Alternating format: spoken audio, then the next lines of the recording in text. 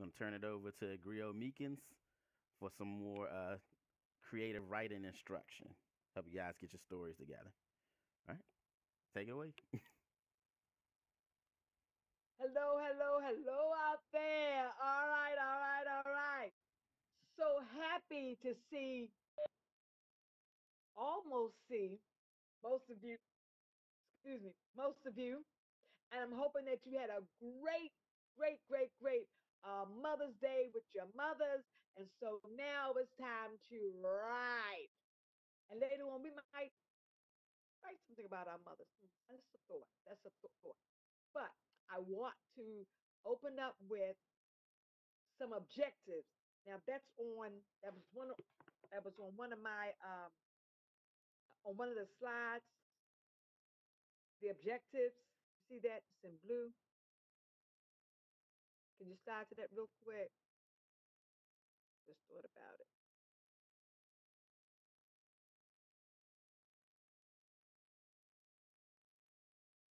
You see it? Mine won't move. Do you see it?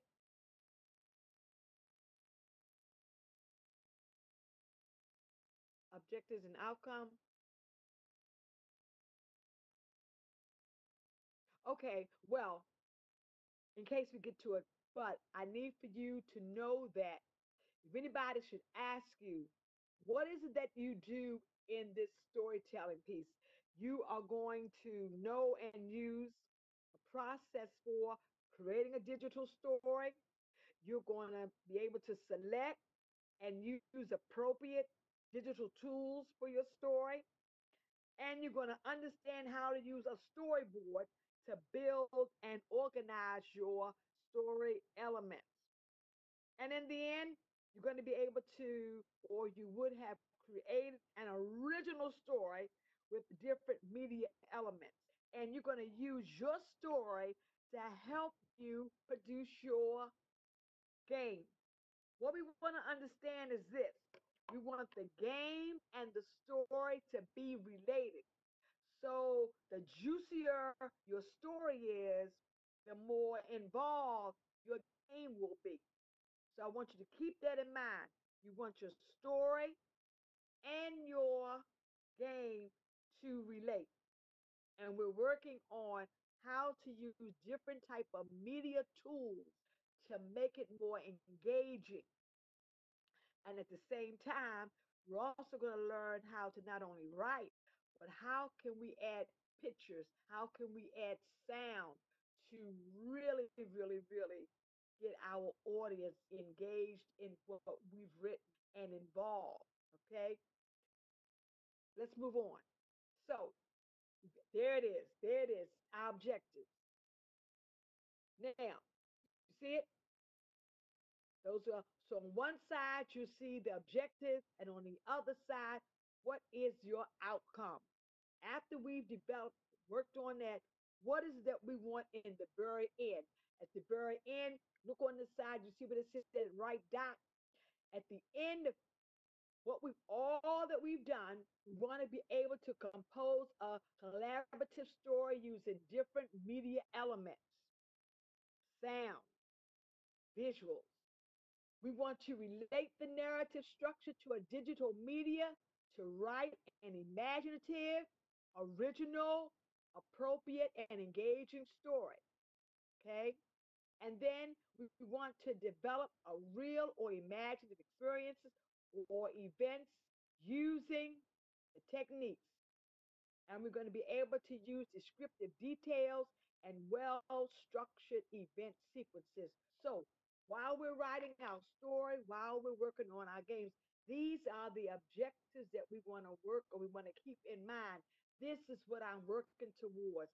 This is what I want. And then your outcome, what you want at the end. Okay? Got that? And we're going to be coming back and forth to that. All right? Let's go. Now let's take a look at. There's some things that we know. A well-stacked store. Ah! What is that, you guys? Yes, that is a juicy hamburger, cheeseburger, all right. Now, what do you see on the top? On the top, you, see this round piece of bread. All right.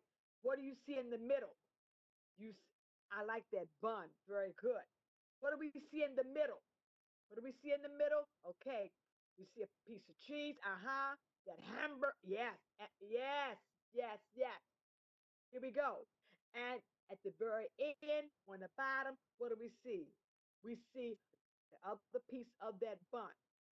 A well stacked story. A well stacked story looks like this ah, juicy, juicy hamburger. On the top, we have what? What's that called? Our topic. What's all that in the middle? In the middle is our what? Supporting detail.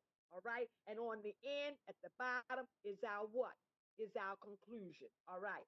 So when you are writing your story, you want to think in terms of I'm writing, I'm gonna write this real juicy, juicy, juicy hamburger, cheeseburger, bacon burger. I'm gonna, I'm that's what I'm working for. That's what I'm working for. All right. How to build a story like a sandwich. You know how you you put that mayonnaise in there, that, that is hot, put some oh man, wow. And it's oh ha juice running down your oh, oh, you know what I'm talking about. A well-stacked story. Now, this well-stacked story talked about. We want to make sure our well-stacked story has a title. Everybody, take out your stories now. Does your story have a title? Look at it. Look at your story. What do you what do you want your title? Now you we might end up changing it, but for right now, let's give it a title. Sometimes we got to have a starting point, a title. Now, remember the story that we wrote last week? I called that my Megan superhero. So that's my title for my story. Megan superhero. All right. Now, you want your story to have a single event. Don't have your character doing a whole lot, a whole lot, a whole lot going here, there, and everywhere, and ain't going nowhere. Let's have a single event. A single event. What is it that your character is involved in? Remember, this is a short story. We're not writing a novel. Okay? So now, let's go back to our story from last week. What was that single event? The single event was old Megan was leaving a birthday party, and a storm comes up. She's now caught in this storm, and something happens. Single event. Okay? Now, what else? We want to give our character something to do. Don't have your character just stand there going, huh, da, da, da, have your character doing something. All right. What was our character doing? Our character, she was walking home. Then a storm was hitting, and she's already a, a, a, a, a super a super girl. So she starts what? She starts getting into action so she can fly away. Right. And then, bam, ha, something happened single event. Character is doing something. Stop. Very good. Ha. She helps. She's helping. All right, let's go. So we know we got a title. Our story has to have a single event. Now, what I'm getting ready to show you now is what we call uh, your checklist in writing your story. You've got a beginning. Your story has to have a beginning. And it must include a hook to draw a reader's attention. I'm going to come back to some hooks that we could use, but it's got to have a hook. All right. And I'm to and I want to hear what your hook is too, baby. Now, you got to make sure you have a setting. Where is your story taking place? Yeah, may not. Okay. What is a hook? I'm gonna go back to that. Let me finish. Let me finish the um uh checklist. I'm gonna go back to the hooks. Very good. And you want to introduce your characters in your beginning. on that top bun, that top bun, you got a hook, got a setting, and our characters are mentioned. Now, you might have one character doing a whole lot, or your character may have some supporting forces, but you got to have some characters, all right? The bun, okay? That's your beginning. Your beginning, that's your bun. Okay, right. And I saw that Sasha put in that your hook is what catches the audience attention from the very jump. Now, here's your middle.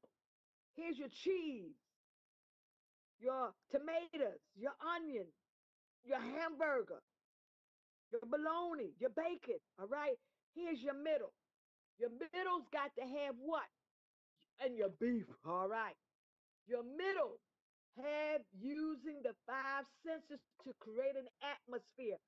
What are our senses? What are our senses? Hit, hit me with it. Hit me with it. What are our we have five? What are our senses?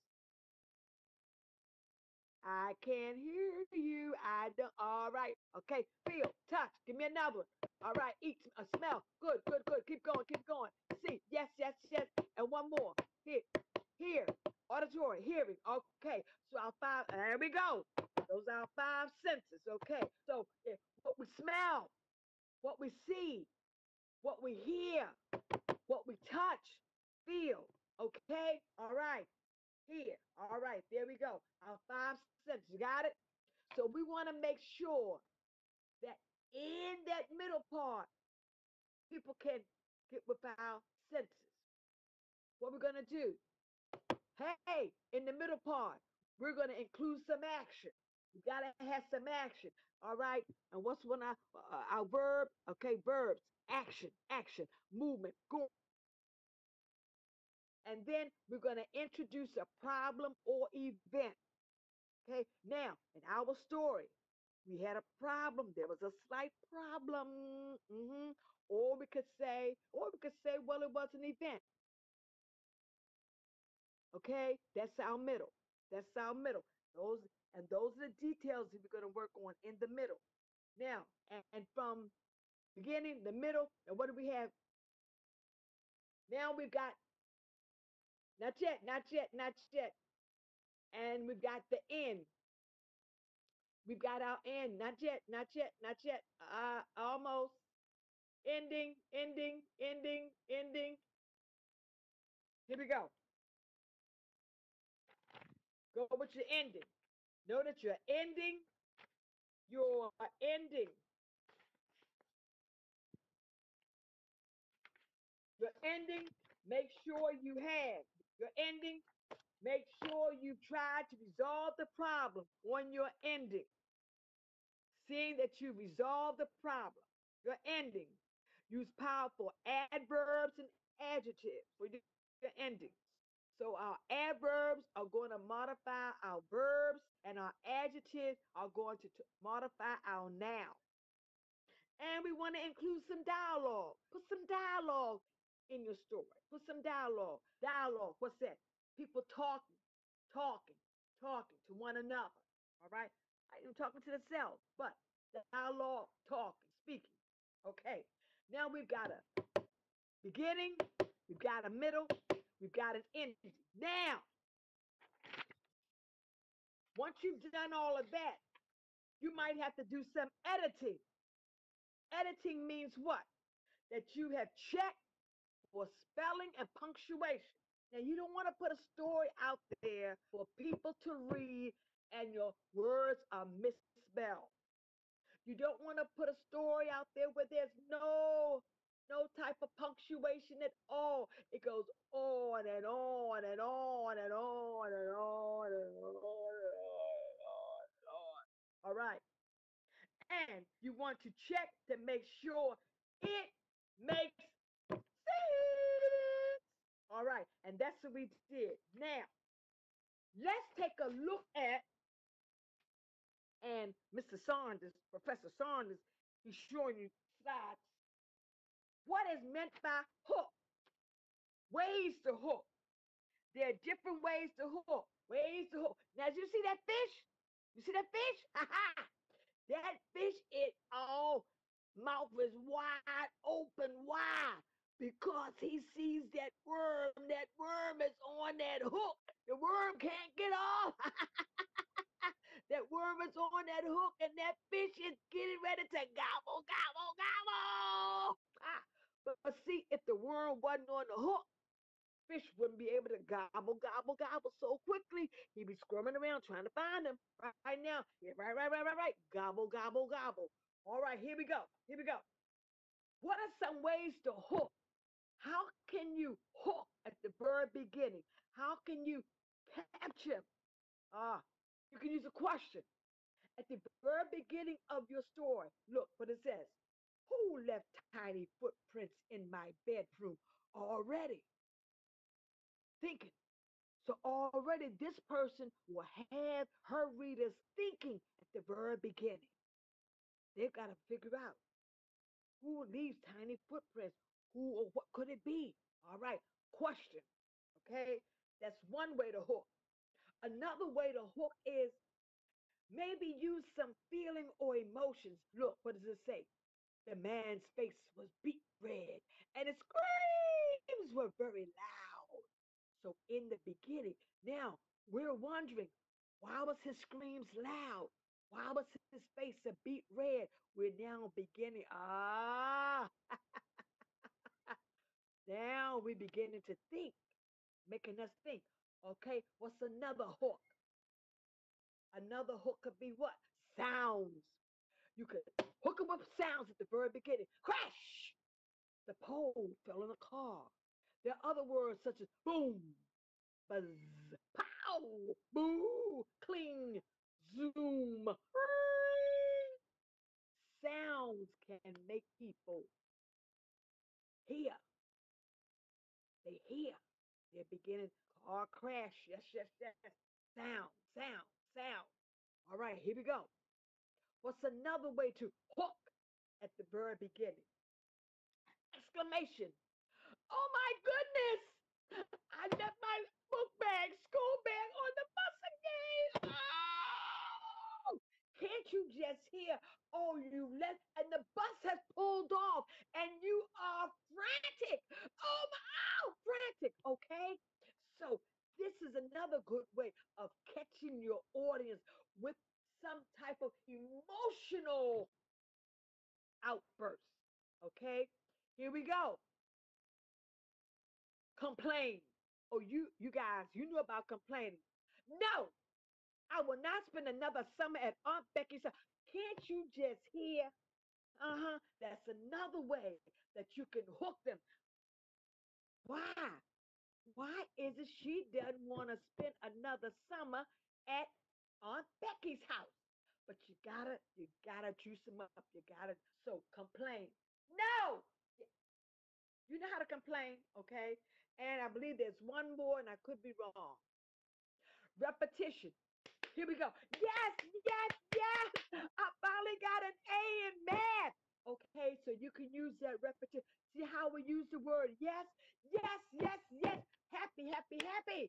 I finally got an A in, in math. Okay, so these are ways that you can hook your audience.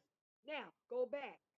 Look at your story when I know everyone has their story in front of them, even if it's not completed. But look at your story now. Oh, I'm so sorry. Description. The air was cool and the playground was strangely quiet and deserted. See how we describe the playground? How have we described the playground? It's what? It's what? Quiet and deserted. Yes, yes and how have we described the air. It's cool. All right. Mystery, mystery, mystery, mystery. Thank you. Very good. Very good. So these are ways that you can hook. How you word it will be how your story will begin to unfold. How you do your hook. Let me say it again how you write your hook. Is it a mystery? Is it excitement? Is it sad? How you write your hook will now set you up for how your story is going to flow. All right, everybody take time now. Give you a little time. Look at your hook. Look at your hook. Can you improve on it? Can you add to it? Is there something you need to take away from it? What can we add? What can we take away? All right. Where's the hook? How do you get your audience? How do you get your audience to want to read what you have so they can love this game that you're going to put together? All right. So, a couple more minutes for your for your hook.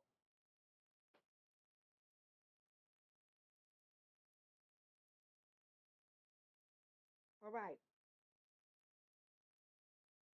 One of our objectives said that we were going to understand how to use a storyboard to build and organize our story elements.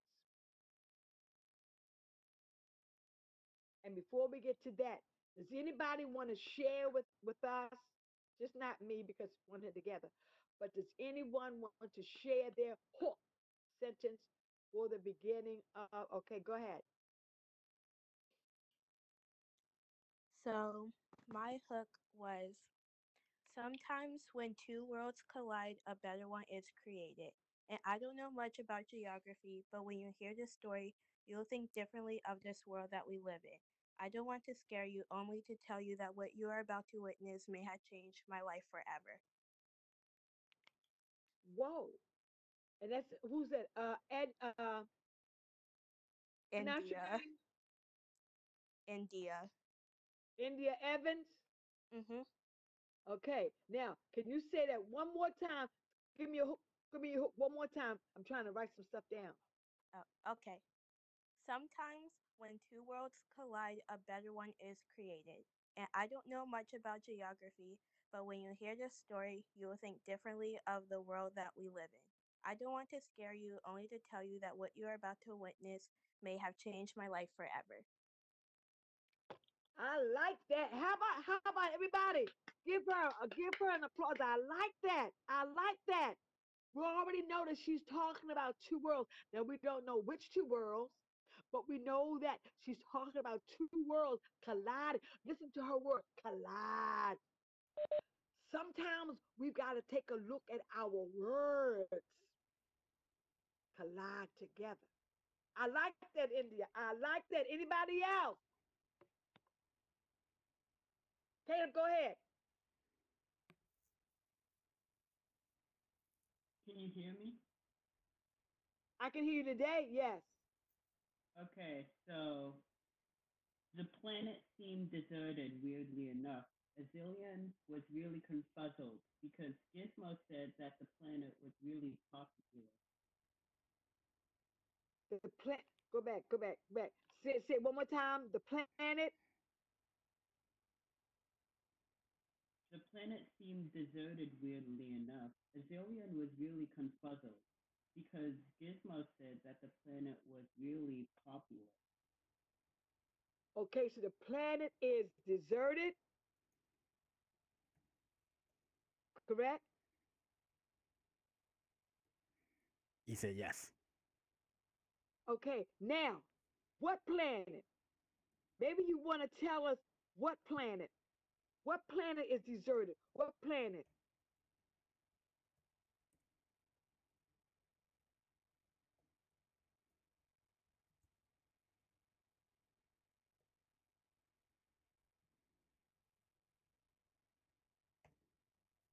Okay. What are we doing? We're sharing our hooks right Planet, now. Okay, the planet. All right, so India, you're talking about two worlds, and Caleb, you're talking about a planet. All right, I like that. I like that. I like that. Okay, now we've got a hook. You've got a hook, and I'm I'm li- I'm liking your beginning. Now, I want to share with you my storyboard. Okay. I want to share with you my storyboard to show you how I put together uh, my storyboard for my story, the story that we wrote about Megan Superhero. Okay, let's look at very first one. Can everybody see? Now, don't y'all don't y'all laugh at my drawings, okay? I tried to do the best I could, and I drew. But here's a good piece about you guys in that with you, you with Scratch Cat, I believe you'll be able to pull in your, your character, however you want to make your character. You'll be able to pull in how you want to make your setting, uh, your two worlds, your plan, however you want to do it. You can pull yours in from Scratchy and make your storyboard. I didn't have that luxury because I can't follow scrap because that's too difficult for me. Y'all know I already have difficulty signing in. Okay, so here we go. Look at my first one. First one. What's that big word y'all see? What's that big what's that big word y'all see at the very top? What's that word? Right. You see the word boom. So already you know something is, is happening. You see the word boom. Now, what do I put? I've got Megan is leaving a birthday party and the weather has gotten cold. That's enough to let you know what that first picture's gonna be about, all right? And you see the houses, and I got a little dialogue. And what does she say? Oh no! Uh, what I say? What she saying? What she saying? Let me find my picture. Uh, oh no, bad weather. We see the lightning in the back. We see the lightning. Okay. We see the rain. Can y'all see my rain? That I kind of drew up my rain. My rain is coming down, and we got that loud sound. Ha! Boom! So already we know something's gonna be popping. Now look at the second. Look at my second picture. And look, she decided to use her superpowers to get home quicker. And see, now I'm trying to show you she's twirling around, twirling around, twirling around. Rain coming down, rain, and she's twirling. Don't laugh at my pictures, okay? She's twirling, okay? Now, look at my third picture. Megan hears a crashing sound and wonders if she should turn around. So listen, in my story, I'm going to find some sound cues. When I when I when I finish my story, I'm going to have some sound cues. So when I do my story, you're going to hear that boom sound. Okay, you're going to hear crash. All right, you're going to hear something crashing. That's going to be exciting. Where we're learning how to add digital media pieces. All right. So I'm going to add the word crash. Now you see, baby girl, she flying now. She patrol. Now she flying. Okay. All right. So very good. We're going to hear noise. Yes. Yes. Yes. Okay. Here we go. Here we go. Fourth one. She turns around. Why? Because in the story, remember we said that in the story she was flying and then she heard the sound crash. And she thought should I turn around or should I keep going? But maybe somebody could be hurt. So then she does what? She turns around. She's going back. All right.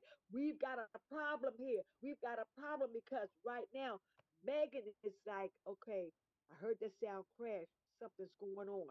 Let's go to let's go to the picture six. Look at picture six. Um, no, no, let's go to five. Got the wrong one. Okay, five. All right, here we go.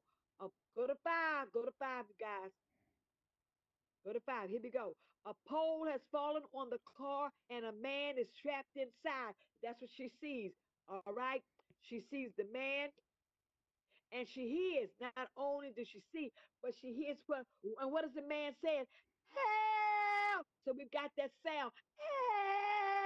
Help! All right. We see with a pole. And what caused the pole to fall? It was that lightning. You see that lightning right there?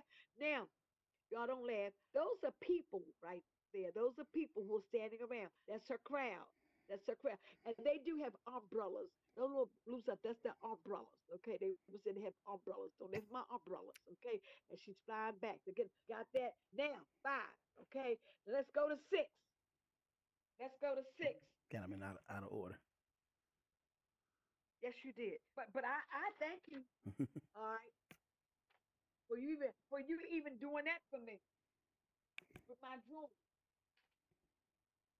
Okay? Now look at six. Six says what? Six is Oh, six says Megan lifts the pole and tells the crowd to help the man. So you see Megan lifting the pole. All right. And then she turns to tell the crowd. Now, let's look at the crowd. Number seven. Seven. The crowd has rescued the man. They were able to pull the man from the car and he's smiling. He's so happy.